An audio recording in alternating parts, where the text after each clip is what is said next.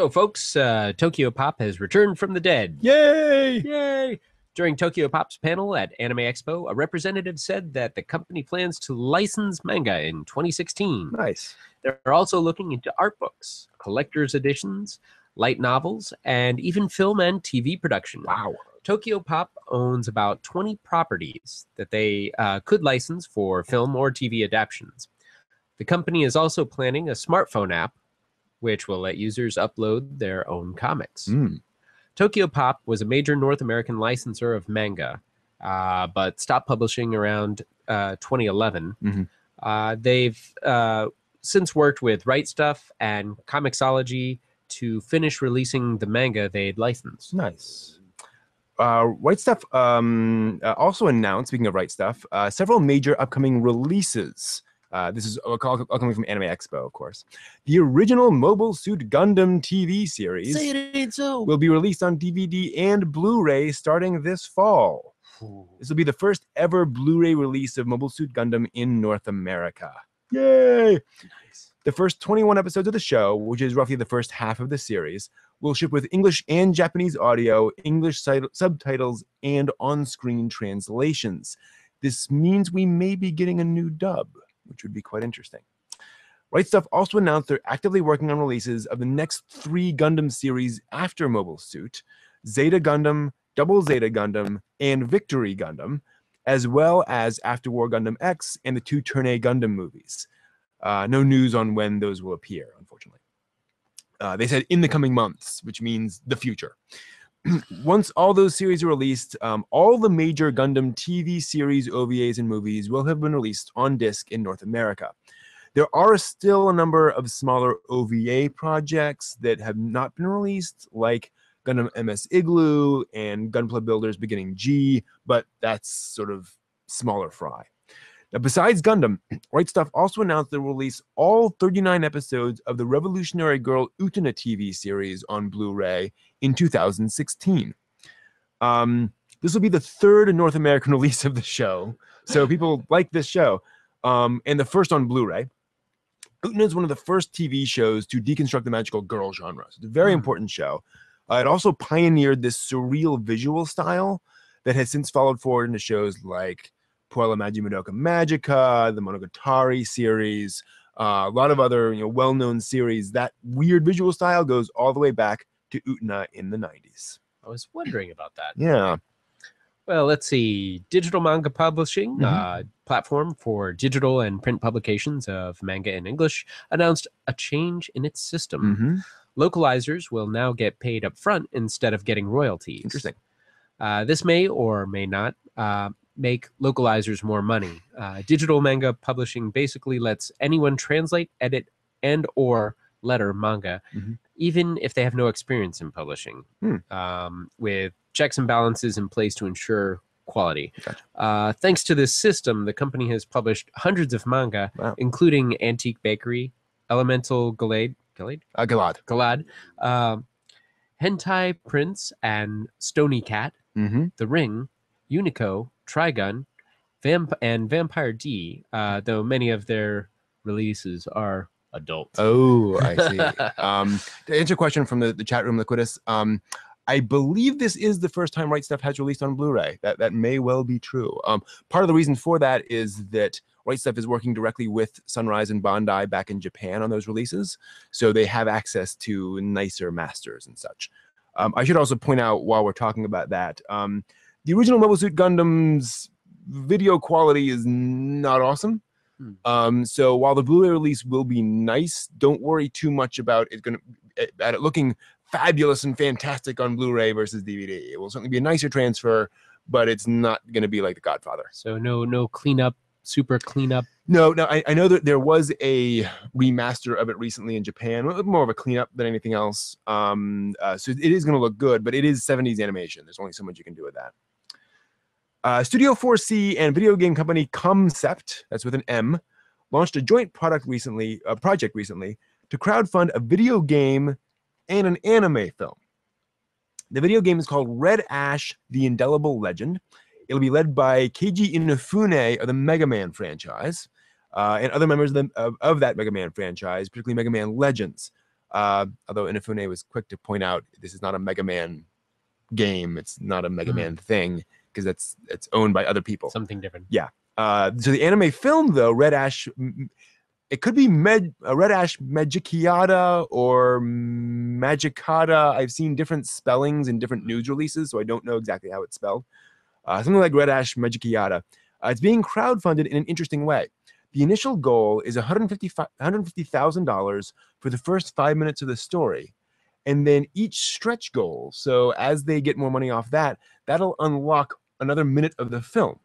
Hmm. So more money gets pledged, more the movie gets made. That's a very interesting way of doing that. It really is. It so, kind of reminds me of uh, St- uh, Stephen King's release of of, of, Mm. of his novel in increments right. based on payment. yeah, yeah. So that's that's yeah, kind of the idea. So we may end up with a 17 minute film, or who knows? Hmm. Uh, Yuta Sano of Berserk: The Golden Age Arc 3 will direct the film. Both video game and film follow treasure hunters in a world where robots hunt humans. Hmm. So it looks like a Skynet. not too, and it, it's not too horribly like dystopian, but it, it's kind of a steampunky type thing. Studio 4C also launched its own crowdfunding platform website on its own website for the film, Hmm. which is kind of a lot to do. That's yeah. Uh, that's- Uh, besides Red Ash, the site includes coming soon pages for an art book and get this a project to crowdfund improvements to their crowdfunding site. wow, that's that's almost like feedback on feedback. Mm, Whoa. Crowdfundingception. Ah! so very interesting. Well, uh, in other areas, Funimation is issued issued they issued they issued a statement about its trademarks this week. Mm. Uh, it's more of a reminder how trademark law works. Basically, Funimation owns the rights to various characters and can legally shut down any fan use of their work, including fan art. Mhm. Whoa. Yeah. However, they don't do that because the law states that copyright infringements don't change rights. No matter how many people make fan art of Sailor Moon, rights to those characters remain unchanged. Mhm. However, US courts have ruled that if a company knows that its trademarks are being used and the company doesn't actively try to combat that, then the company can lose its trademark. So if I reuse the Funimation logo and Funimation finds out but lets it go, then that trademark can eventually be ruled as public mark. Yeah. So basically, if something's trademarked to Funimation, don't reuse it. Don't slap it on your own products. Don't make a parody of it, you know, directly. Um, Unless you get away with it. no, don't just don't. don't. It's a bad idea um, because lawyers will. lawyers are expensive and it's not fun. Yeah, no, no. Um, and, and again, th- this is uh, Funimation just basically saying, here's a review of how all this works. You know, we don't want to jump on anyone, but if you use a trademark specifically, that's a different thing, Hmm. and they have to be more careful about that. Meanwhile, a popular 1990s franchise is coming back. My jaw dropped when I saw this. AIC announced they've acquired the right to the Saber Marionette franchise. Yeah, and will be launching a new reanime project for that. No news yet on what exact form that'll take.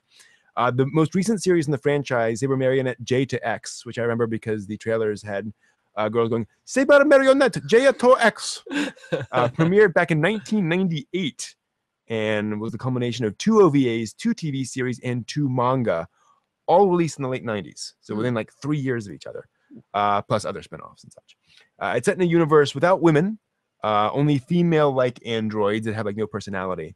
But the protagonist stumbles on a couple of androids with emotion chips. Ooh. So suddenly he has a bunch of emotionful girls around him. I wonder when the chips are down. uh, Oh. All right. So let us move on What's to Coming up in convention world. exactly the conventions of the uh, uh of, of this weekend, basically. Conventions this Starting off with Comic Con International, San Diego. San Diego Comic Con. July 9th through 12th at the San Diego Convention Center in San Diego, California. I don't think we need to tell you anything about that. I That mean, pretty much stands on its own pretty there. big one. What, what about the next one? Uh. Connecticon is at the Connecticut Convention Center uh, slash the Hartford Marriott downtown and the Hilton uh, the Hilton Hartford. So three um, hotels all coming together for this in Hartford, Connecticut. It's been running since 2003, so over 10 years. They expect 12,000 people. Who's going to be there? Wow. Um, Chris Bevins, uh, voice actor, director, and line producer at Funimation. Matt McElroy of Drive Through Comics. Uh, and Nichelle Nichols and George Takei, which is Whoa. yeah. So bit of Star Trek stuff there going, as well as others. Yes, George Takei. oh my, Well, check out this one, Anime Blues it's a Con, neat name. July 10th through 12th Mhm. in Memphis Cook Convention Center Nice. in Memphis, Tennessee. Cool. It's in its fifth year. Mhm. Its guests will include uh, Gary Chalk, Vic Mignogna. Magnolia. Full Metal Alchemist is going to be there. Rena Palencia. Oh, she's so sweet. Mm, And uh, check it out. nice. If you're in Wichita, Kansas, Anime Festival Wichita will be held this weekend, the 10th to the 12th, at the Hyatt Regency Wichita. Uh, it's been going since 2005, so about 10 years old now. Good for you. Wow. Ikatsukan. Mm. Uh, that's going to be uh, this uh, same same July 10th through 12th Mm-hmm. at Wa- Grand Wayne Convention Center in Fort Wayne. Is that Indiana? I think so. Yep. And that's been going on since 2003. So Mhm. uh, the events are going to include Gunpla Builders Showcase. Cool. Ooh, Yeah. interest for, for those Mm. of us who uh, have checked out uh, uh, Open Gundam style. up, up, up, up. Open Gundam style. So uh, Pokemon and Hearthstone tournament and also Artemis. Mm. Yes. Do you know what Artemis is? Tell me, You what know is Artemis? So Artemis is That was my friend in school. She was sweet. um, Artemis is the Star Trek um, bridge combat simulator. So you set up a bunch of laptops, and one is engineering, one is weapons, one is Ah. navigation, one's the captain, um, and each one has specific things coming in. And There's one big screen which shows you know the ship and all the other things around. the command and control center. yeah, and it, it it's just far enough away from Star Trek's trademarks uh, and and stuff that you know you can you can kind of get away with doing the same kind of stuff. So there's still So can you have Klingons on the starboard bow? sadly no, but you can Oh. have you know Sirons, Sirons. uh, whatever on the starboard bow. Um, yes, and it's a lot of fun. It, um, it- it's designed for I think 15 to 20 minute uh, uh, conflicts, and you just kind of go out there and shoot things down. That It's sounds like fun. it, it's it's a lot of fun. Uh, if you're in Buffalo, New York this weekend, check out RyuCon at the Buffalo Niagara Convention Center. It's in its fourth year. Guests include Tiffany Grant, voice actor and writer, and Kirk Thornton, voice actor. Knoxville. Knoxville Anime Day. an interesting one. July 10th. No, Ju- psych. July 11th in Holiday Inn, Knoxville West at Cedar Bluff. Mhm. Bluff. Bluff. Bluff. I'm not bluffing. it will be there at Knoxville, Tennessee. The dealers room focused event with uh, 3,000 square feet of dealers, uh, though uh, it also includes a few uh, uh, fan panels, uh, video game room, a costume contest, and it's only five bucks to get in. Who, who could beat that? Five exactly. bucks. What a brilliant setup. So this is a really interesting thing I found out this week. So they do this anime day at different cities, uh, like I think one a month, and so they kind of go around from city to city. It's one day, and it's focused on a dealer's room. And the idea they just ah. bring in folks, they set up a big dealer's room, and they say, okay, you know, there's going to be a room with fan panels and a room with video games and so forth. But the whole idea here is it's one day you can come in, you can buy your anime and get out. And at five bucks, that's awesome. I mean, if it comes to my town, then I don't have to go to the con. This Yeah. is brilliant idea because so many people may not be close to a con, but if they come to town Sure, and it's only five bucks, totally. I want to make sure I'm not working that day. Great idea. Um, for our international fans, check out MondoCon, July 11th, Saturday, at the Hung Expo in Budapest, Hungary. Sadly, their site um, is not only not in English, even translated, they aren't really listing guests and events in much detail. So I don't know much about what's going on there. But if you're in Hungary, check out MondoCon. my Viking blood loves the name of this next this next uh, uh, con. It's called Valhalla Con. Yes. Uh, surprisingly, it's it's it's not Norway. It's actually in uh, Columbia, Yeah. uh, uh, South Carolina. Ah, and that's going to be July 11th through 12th Mhm. at the Columbia Metropolitan Convention Center. Okay. It's the third year, and it's only 20 bucks to get in. Not bad at all. I, I can live with that. All right. What's going on in the world of Kickstarters? Update on the Essential Otaku Guide to Tokyo. Mm. This Kickstarter fund will uh, uh, will fund a digital physical guidebook Mm. to otaku sites in Tokyo, Cool. which Uh, if you ever get a chance to go, is fantastic, and having a guidebook Oh, is essential because yeah. Tokyo is like a circuit board Mm-hmm. for something that you've never seen before. Yeah. Uh, it's just amazing, and having some someone to help you make the most of your time there Yeah. would be well worth it. Yeah. they've raised uh, twelve hundred dollars out of the four thousand that they need, with fifteen days to go. So check that out on Yeah. Kickstarter. Yeah. That makes it a, a a little more iffy as to whether they're fun or not. So they definitely need your money. Hmm. Uh, my own Otaku Brain Trust Anime Convention Kickstarter is sadly stalled at $315 of the $5,300 needed to fund my intellectually focused anime convention in Virginia for February of next year. We have eight days to go. So if you want a panel focused convention filled with smart people, uh, head over to Kickstarter and look for Otaku Brain Trusts. Let's see, Fred Fennell. Mm-hmm. We've been Of talking about him a lot. yes. Yes. Yes, uh, the Australian guy uh, still has no backers Aw. for his seventy-eight dollar, and that's not that. That's the whole Kickstarter, seventy-eight dollars US, uh, to uh, fund his anime watching uh, Yeah. binge. He's never watched anime before, and this fund will go to uh, energy drinks so that he can watch ten anime series nonstop over a forty-eight hour period. Mhm. There's five days left to go Come on, guys. somebody ought to ought to, ought to jump on that Yeah. and say okay um uh, 78 bucks this guy's got to watch all this anime okay we want you to watch this series this series and this series and report on them totally, totally. Um, hmm, check him out absolutely. Uh, the Asterion French Japanese interactive anime series we've been talking about. Uh, this is where uh, each episode will contain decision points. You can change. choose the your own story. adventure Yeah, that's pretty cool. interactive Um, it's now at only nineteen thousand dollars out of the hundred and fifty-one thousand dollars they need by the end of July. So, mm, Hmm. uh, staff members staff members include a Studio Ghibli alumnus, oh yeah, and several other distinguished anime staff, including Hiroshi Shimizu, uh, Michiko and Hatchin, and the Lupin the Third Fujiko Mine series. Um, head over to just look for Asterion, A S T E R I O N. If nothing else, check out the video they've got posted. The animation looks gorgeous, very high budget. Um, you know that's pretty cool. So definitely, definitely an impressive project. finally some good news the otaku no video kickstarter ended successfully Yay! $102000 to bring otaku no video on blu-ray to Mm, everywhere outside of japan awesome. yes Yes. And they will be offering, I, I, I should note, I forgot to put this in here. Um, they will be offering that even to folks who didn't back the Kickstarter. Ah, Um, thank you Yes. So it, it will be out there. It'll probably be more expensive than the Kickstarter, though. Uh, in the chat room, uh, Liquidus uh, pointed out uh, earlier news story. Um, the Red Ash video game is planning to be sort of a spiritual sequel to Mega Man Legends. Um, so it's kind of bringing in apparently many of the ideas they had for that. Ooh. So again, not a Mega Man game because it's not officially made by Capcom, but it will be kind of you know on that um, uh, um, in there, if you will. Hmm.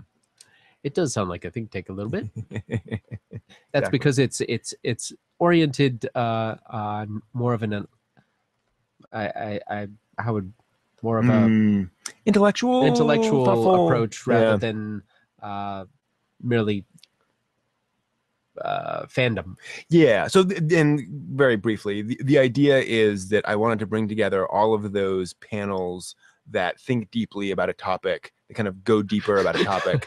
Um, although uh, the idea of lobbying for otaku friendly policies i I'd do think is that. great yeah, I, I love that, Uh, Steve. I think we should do that. S- somebody recently refurbished a theater uh, i was reading on one of the ap news presses Mhm. uh, uh, a wire wire feeds that Mm. uh, they've refurbished a theater somewhere in Texas, and they're planning on showing anime to uh, uh, Wow. help support the theater. nice. Now that they've refurbished it, I, I want to say it was in Houston, but I can't Probably, remember off the top of my head. I think Funimation's in Houston somewhere. I, I think Uh, they're I, I know they have some some something in um, uh, uh, uh, Two Flower or uh, Hmm. was it Mount Flower Mound? Flower know. Mount, I think, Okay. uh, in Dallas, Dallas, Dallas. Dallas, Oh, Dallas. Dallas. Okay. We have a maybe Dallas. We have a. Dallas. Yeah. All right. So moving on to the anime releases of the week. What's come out this week? What's come out this week? So starting with 4K Media slash Cinedigm's release of Yu-Gi-Oh! GX Season 2, all 52 episodes on um, DVD for $59.99. That's dub only, of course. Um, $59.99. You'll get about 10 bucks cheaper online. Wow. Funimation. Noragami Season 1 Collection Mm-hmm. on Blu-ray and DVD combo. Mm-hmm. 12 episodes for $46. And, I believe that's not cents. correct. no? I believe that's $64.98. Ah, darn this dyslexia. Sorry, guys. I tried to get you the discount. Just couldn't work it in there. Sorry. But there's also a combination with a limited edition, Mm. and that's $69.98. Yeah. Five bucks more. Not bad. And not only that, there's the. Now, how's this next one different? Uh, it's the Funimation shop exclusive. What is a shop exclusive? Uh, Funimation has a Funimation shop, and uh, they, they have a special. They they'll have special releases on there with special stuff on it. Hmm. Yeah. I wonder what what what uh, little bonuses they've got on that one. Good question. Anyone who has who, who is in who has an exclusive there, let us know. Uh, moving on, Media Blasters has released Ladies versus Butlers, the complete collection on DVD. This is 12 episodes long for $39.98 MSRP. Fun show. And Sentai Filmworks, uh, Alchie, Escher, and Logi. I have no idea. Alchemist of the Dusk Sky. That's a nice name. Yeah, complete collection DVD, 12 episodes for $49.98. It's uh, sub only. Okay. And let's see if there's. Sorry, getting down there.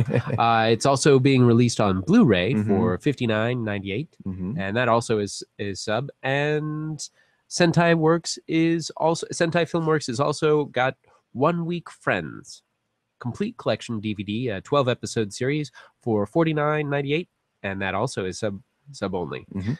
uh, they've released the same thing on blu-ray for 59.89 and uh, what's trsi doing So, Right Stuf slash Nozomi, uh, Nozomi Entertainment has released. Nozomi. Yes. They've released uh, Yakitate Japan, aka the baking anime. the baking anime Um, Yakitate Japan, uh, part three. makes me hungry thinking Yeah, no kidding. Uh, this is episodes. Oh, I got this wrong. Shoot. Sorry, guys. Um, I need to. pull it. It's uh, 17 episodes of Yakitate, Yakitate Japan. I think it's that would be. I think 38 to 69 episodes. Can't be. Um, Yeah, that's gotta be later on, so 43 to 69, something along those lines. 53, 53. 17 episodes 53, counting back yeah. from 69 so you do the math uh, that would be Uh, uh, 59. 50 Uh, it's got to be 50, 53 to 69. It's got to be. 52, Um, something along those lines. 52 maybe. 53, Okay. yeah 53. Okay. skip you skipped over So, one of the previous Um, okay so uh, as I was saying, Right Stuf International slash Zo- Zomi Entertainment released Yakitate Japan Part Three, episodes fifty-three to sixty-nine. That's seventeen episodes for forty-four ninety-nine, um, uh, and that's also sub only. well let's see what's what's up with viz media with Viz. pokemon the movie Hmm. Giratina and the sky warrior Hmm. 1997 Yep. that's not the year it was released that it was released recently this week uh dub only for okay. Near 20 bucks Yeah, not bad. Um, speaking of that price, I actually went back this week and looked up street price for these series to get a, a, a feel for how much they cost. Um, that Yu-Gi-Oh! Season Two collection, uh, when you look at the price on Amazon and divide it out, it's about a dollar per episode. Uh, Noragami, Ladies versus Butlers, and One Week Friends, that's about three bucks an episode for all those releases on DVD. And those are for the standard release, standard editions, obviously. And Yakitate Japan Part Three, it's about two sixty four per episode. Hmm, So prices are still not too bad. Don't get too freaked out by the MSRP out there. yeah So that is it for Horizons. Thank you for watching, and we will see you all on the next Horizons next week. thank you for joining Bye.